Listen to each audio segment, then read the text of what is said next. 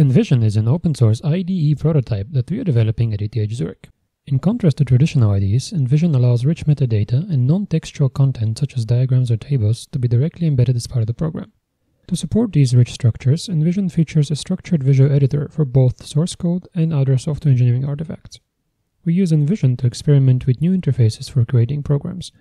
Our goal is to create a tool that improves the productivity of professionals who work on large projects in diverse domains.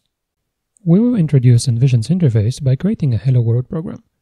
Top-level structures such as classes or methods are created using a command prompt. Envision shows all commands that match the current string and offers automatic completion. To start, we create the hello class by typing the class command. Next, we create the main method using the method command. As Envision targets professionals, we focus on keyboard interactions. As you can see, these interactions are very flexible. We only need to provide a partial command as long as there is no ambiguity. The available commands are determined by the currently selected object. Apart from using the command prompt, we are also able to interact directly with objects on the screen. Using the keyboard, we can move a two-dimensional cursor in order to select different structures within the program. We can navigate to all parts of the program and edit the code directly. Expert programmers are used to effortlessly writing source code using text editors. Envision provides a similar experience, allowing us to create structures simply by typing. As we type an expression, Envision automatically reparses it to create a matching abstract syntax tree.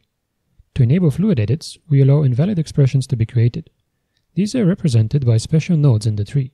Here you see incomplete expressions visualized with an orange background and errors shown in red.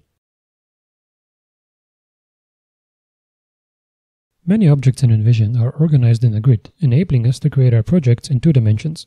Let's create some more methods.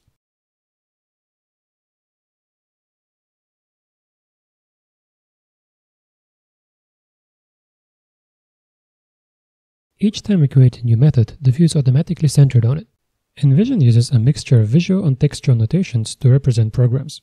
Structural elements such as classes and methods appear as boxes with icons. In general, we use outlines instead of curly braces, icons instead of most keywords, and background colors in order to make the structure of the code more apparent. In the lab study, programmers using these rich visualizations were able to answer questions about the structure of code up to four times faster than when using traditional syntax highlighted text. Apart from the default code presentation that you see here, Envision allows any number of custom visualizations. For example, we can display an alternative visualization of this method, which shows its control flow. The code remains editable even in this form.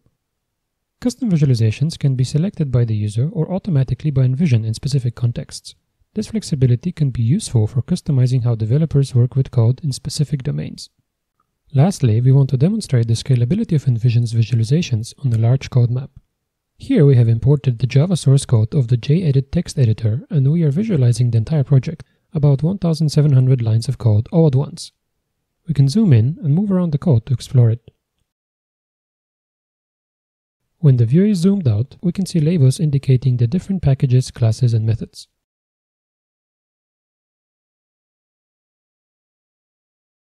In the bottom left corner, there is a minimap that helps us stay oriented.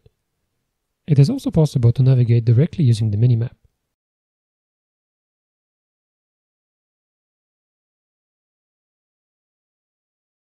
All the code you see is editable normally directly in this view.